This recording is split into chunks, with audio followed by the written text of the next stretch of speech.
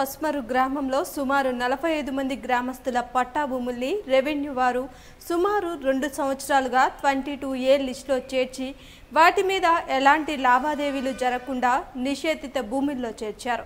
వాటి పరిష్కారం కోసం పసుమర్రు గ్రామ రైతులు ఎంఆర్ఓ ఆఫీస్ వద్ద ఆర్డీఓ సమక్షంలో ధర్నా చేయగా ఆర్డీఓ పిలిచి మాట్లాడి సమస్యను వారం రోజుల్లో పరిష్కారం చేయవలసిందిగా ఎంఆర్ఓని జిల్లా సర్వేయర్ని ఆదేశించారు.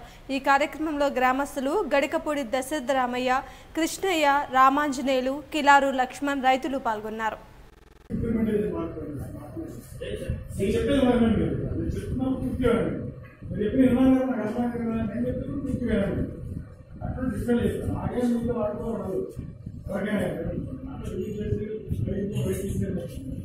ఒకవేళ గురించి సరే దొరకపోయినాను ఎగ్జిస్టింగ్ ఎలా ఉందో చూసి నాకు చెప్తే చెప్తాను. సబ్డివిజన్కి ఆల్రెడీ రెండు మార్గాలు ఉన్నాయి మొదలుగా ఆల్రెడీ ల్యాండ్ నేను చెప్పాను కదా దాంట్లో దాంట్లో రెండు మార్గాలు